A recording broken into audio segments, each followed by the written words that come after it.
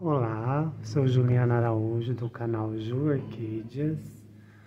Hoje vamos falar um pouquinho sobre os meus catacetos que estão abertos. Sejam muito bem-vindos ao canal Ju Orquídeas. Muito feliz com os novos inscritos que estão chegando pelos 20 mil visualizações em um mês no meu canal. Para quem está começando agora, é muito maravilhoso. Olha esse cataceto, que coisa mais linda, agora totalmente aberto. Vocês sabiam que há mais de 150 espécies de catacetos no Brasil, sendo que 100 está na região central, na Amazônia, quer dizer, 150 no, espécie no mundo, né? Sendo que 100 está no Brasil. Uma planta de fácil cultivo. Eu mesmo nunca tive problema com o cataceto. Eu não faço hidroponia neles, entendeu? Eu simplesmente tenho um vídeo meu mostrando qual que é o meu plantio. Esse é um pouquinho mais claro, mas da mesma espécie do que eu mostrei. Eu tenho algumas variações de cor. Esse é o marrom. Olha que lindo esse marrom, gente. Já tá passando esse, mas ainda continua lindo. Entendeu? Esse daqui é um cataceto... Gente, eu esqueci o nome dele. Lancífero. Esse daqui eu não sei o nome dele. Que eu vou ganhando e vou cultivando, entendeu? Mas muito lindo. Tenho esse daqui também, que é um pouco mais claro do que aqueles ali. Lindo, né? Então, meus catacetes estão super desenvolvendo. Eles param uma certa época do ano, entendeu? E depois eles começam a sua brotação. Esse daqui é uma folhagem diferente, acho que vai vir uma coisa diferente aí. Esse eu creio que é da mesma daqueles ali que eu mostrei, mas vamos ver, né? Só na hora que eles abrem para saber qual que é. Plantio deles eu faço com casca de pinos, é... como é que fala, gente? É fibra de coco. Isopor e um pouquinho de esfagno em cima. Olha como é que tá esse arranjo também, gente. Eu fiz esse arranjo faz uns seis meses, mas já tá enraizado e já florindo, olha. Que lindo. Um cinto croeso. Aqui tá vendo mais uma floração. Eu não vejo a hora dele abrir por inteiro. Sorte que um cídio demora um pouquinho mais, então vai Dá pra ver ele todo aberto. E super se desenvolvendo. Minha amélia Ancip com três hastes floral. Mais pra frente eu mostro pra vocês como que é. Mas hoje eu queria mostrar, gente, o meu giboso. Olha que gracinha, gente, a floração dele. Vamos ver se vai dar pra, pra me focar, né? Foi difícil, viu, gente? Mas eu consegui fazer ele florir. Faz uns três anos que eu tô com ele aqui no meu orquidário. Mudei ele de lugar, voltei para outro lugar. Ele enchia de brotação, mas floração que era bom não me dava. Agora está com duas hastes, tô apaixonada por ele. É umas flores pequenininhas, mas bastante. Essa minha centera toda florida. Olha que linda, gente. Olha. O bom da centera é que na mesma folha que ela deu, ela repete a floração. Então ela tá com várias hastes floral ainda para abrir. Eu não sei qual que é. Mais uma floral de haste, ó, abrindo. Mais essa daqui formando, a outra aqui formando. Então eu daqui uns dias ele vai estar tá inteirinho florida. A centera é uma planta fácil, pelo menos eu nunca tive problema com a centera, eu deixo sempre no lugar mais alto do meu orquidário, né? E ela sempre vem floração.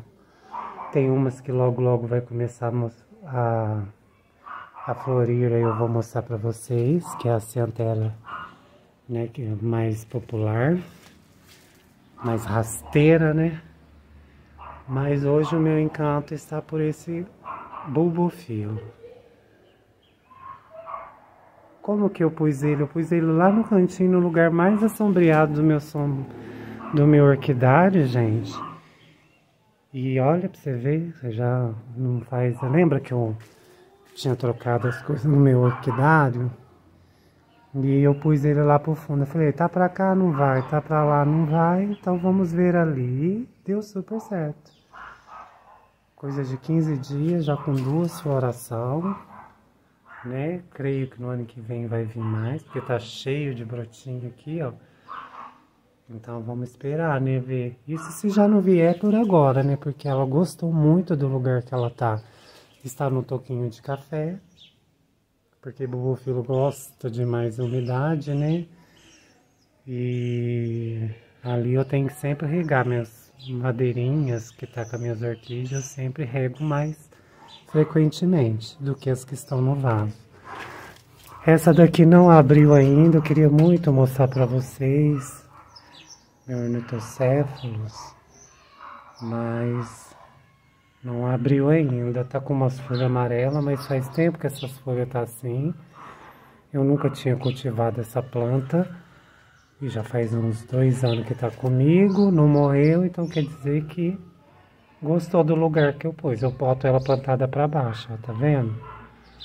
Já tem esse brotinho aqui, floração, assim que abrir ela, eu vou mostrar para vocês como que é a floração dela. Essa daqui que tá para quase abrir também, que logo logo eu mostro para vocês. Entendeu? Aqui eu tenho o meu é, Zigostache lunata, que agora tá todo aberto. Ele quase morreu, gente. Meu Deus do céu, pegou um sol nele. Queimou tudo aqui, muito, queimou bastante. Ele tava cheio de floração. Olha aqui, você vê. Minha amiga fala que é orquídea macaquinha, parece um macaquinho. Sei lá, pra mim parece uma lua, uma meia lua. E a floração, por isso ela é chamada de Zigostate lunata. Uma planta de fácil cultivo, o erro foi meu aqui mesmo, do sombrite, que bateu o sol aqui do nada e quase matou ela. A sorte que eu vi rápido e botei outro sombrite na frente e ela parou por aí, mas alguma floração perdeu, era para estar um arranjo lindo. No ano passado ela floresceu tanto, eu fiquei tão apaixonada por ela e eu dei essa mancada com ela. Mas é assim, gente, no cultivo de orquídea tudo pode acontecer. Entendeu? Olha que pensa os cachinhos dela. Zigostache lunata. Agora também tem a minha gomesa, que tá com haste floral. Assim que ela florir, isso demora, gente, para abrir, e ela forma e fica e fica. Mas quando ela abrir eu vou mostrar para vocês, tá bom? Agora vamos ali. Voltando pelos meus catacetos, né? Que eu tava querendo falar para vocês. Gente, cataceto, ele dá três tipos de flor. Eu, no meu orquidário, de vez em quando aparece uma que é hermafrodita que até no ano passado tinha é, poliniz, autopolinizado nela mesma. Mas a maioria das vezes são todas masculinas, olha. Eu gosto mais das flores masculinas, por quê? Porque a coloração é melhor. Geralmente as florações femininas são todas esverdeadas, parece uma bolinha. Olha aqui minha galenda também, gente. Acho que tá para vir flor também. Olha como eu cultivo minha galeandra. Num toquinho de peroba, perto do meu sombrite. Aqui tava com três lindas brotação, mas estava muito acostado uma na outra, abortou. Fiquei muito triste. Tô triste até hoje. O meu cicnoche indo lá pra frente, sempre quando meu cicnoche desenvolve muito, eu quebro aquela brotação, aquela parte da frente, porque aquela ali é a floração da anterior, entendeu? E deixo a de trás e replanto a anterior, a do, do mês do ano, ano anterior, porque eles têm uma, uma coisa muito ruim, eles morrem, o bulbo, o bulbo anterior. Agora quero ver se eu chego lá pra vocês, gente, na minha maxilária picta. Eu não sei se é tupido, marciano, um negócio assim. Mas olha que coisa mais linda, gente, essa maxilária minha. Todo ano, gente, não tem erro. Ela floresce. Ela tem um crescimento meio desordenado, entendeu? Mas eu acho ela uma floração lindíssima. Esse lapilo preto com rosa. Já tá na hora de eu trocar o vasinho também, tomar vergonha na cara e trocar o vasinho que já tá saindo pra fora, né? Eu deixo ela num lugar mais alto do meu orquidário. Bem perto do sombrite. E não fico mudando de lugar, porque elas não gostam de ficar mudando de lugar, gente. Aqui é a minha tripstick, lipstick, negócio assim, tá vendo? Acha lá dentro pra vir flor. Vamos ver o que que vem aí, né? Mas é lindíssima essa floração. No mais, gente, eu vou mostrando pra vocês mais pra frente as florações, tá? O desenvolvimento das minhas plantas. Aqui ainda não tá desenvolvendo, que foi a que eu plantei esses dias pra trás tá? Ainda tá do mesmo jeito, mas logo, logo eu tenho absoluta certeza que ela vai começar a enraizar. Aí eu mostro para vocês direito. Tá bom? Fiquem todos com Deus. Obrigado por estar assistindo sempre o meu vídeo. Gratidão.